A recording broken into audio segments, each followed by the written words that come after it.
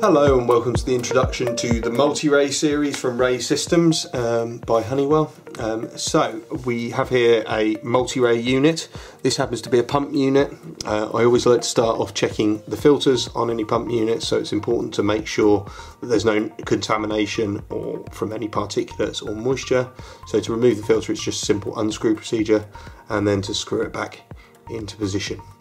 Um, so operationally speaking, um, there is a battery compartment on the back. This is a clip-off, uh, clip-on, clip-off battery. There is alkaline battery options available, and the charging is done via the bottom of the instrument. Normally, we'd have a clip on the back of the instrument here as well.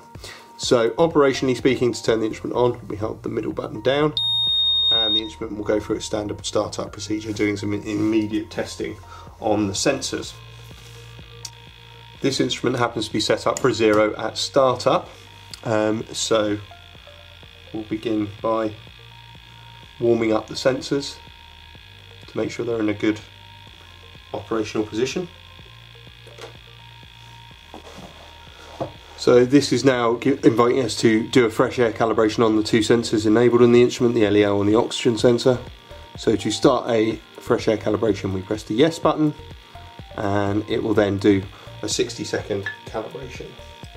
If you have any doubts about any contaminants in the atmosphere um, which particularly is appropriate if you have a VOC sensor in the instrument, then we would suggest using a carbon filter. Um, these are available with all the instruments, they come in the boxes, um, so I'd use them to make sure you get no contamination in the background of the sample.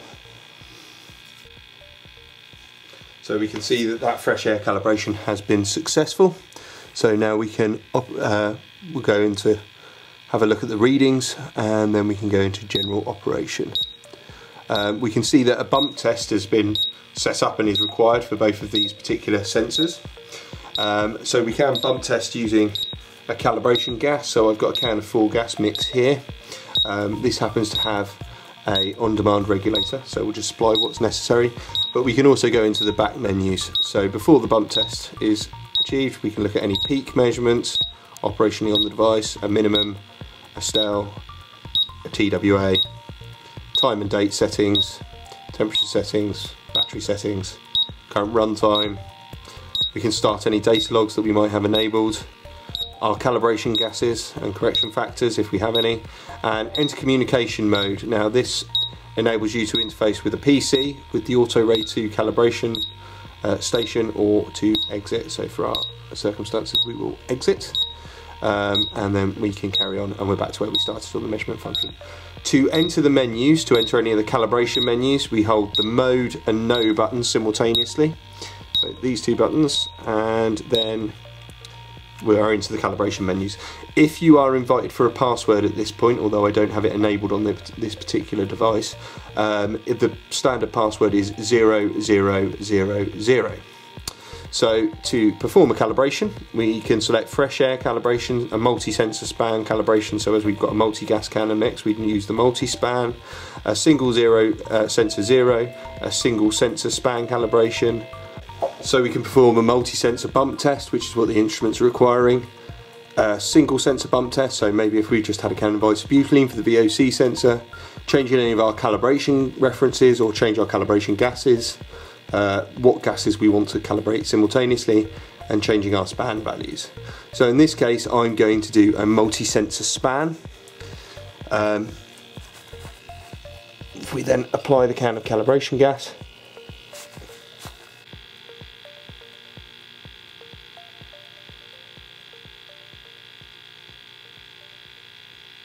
and we can see that that calibration has been successful. So we can then see what our readings were. So I happen to be calibrating at 18% oxy, 50% LEL. Can then remove our calibration gas um, and we'll see shortly that our any warnings have been disabled. So to look at measurement options, we can change turn sensors on or off and change our measurement gas. So this would be setting for pentane or propane in the LEL sensor or various other options or looking at different VOC um, correction factors if we had a PID enabled. Uh, in terms of our alarm settings, we can look at our alarm limits, uh, our alarm mode, be it vibration, etc., uh, comfort beep, and a man down alarm. So to enable a man down alarm, we can turn it on or off. Um, we've got a motionless time, which means you can um, acknowledge an alarm. We can look at our motion sensitivity. We can get a warning time, etc. uh, you'll get a 30 second man down warning, which gives you an option to acknowledge the alarm. If it's outside this period, it will activate a full man down alarm. So if this is a wirelessly connected instrument, this will send a man down alarm via the mesh system. We can look at our data log settings. So we can clear our data log, look at data log intervals, sensor selection, what we want to log, our data log type, and what happens when the memory is full, whether it's a wraparound function or back. If I had wireless, I'd have some wireless options on here. Um, in terms of general monitor setup, we've got things like contrast, operation mode, pump zero at startup, fast startup, language, site ID, user ID, date format, and a variety of different options, general instrument options, LCD flip. If we uh, flip the instrument upside down, um, the instrument will flip screen. Um, so if we go back, we will go into general operation again and we're back to where we started and we can see all our alarms have been disabled. Um, to turn the instrument off it's a five second countdown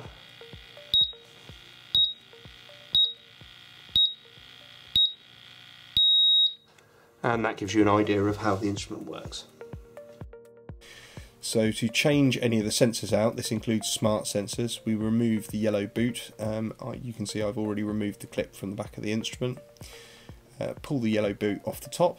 Um, then you'll see the four screws on the rear of the instrument. Um, we need to remove those top four screws. Um, and then I normally do it in the same fashion as you do a tyre so from corner to corner and then pull off this back section you'll see the integrated pump comes off with the back section and then we have our smart sensors including in this case a blanking plug for the additional sensor slot we've got here. Um, each of the sensors has a smart sensor slot.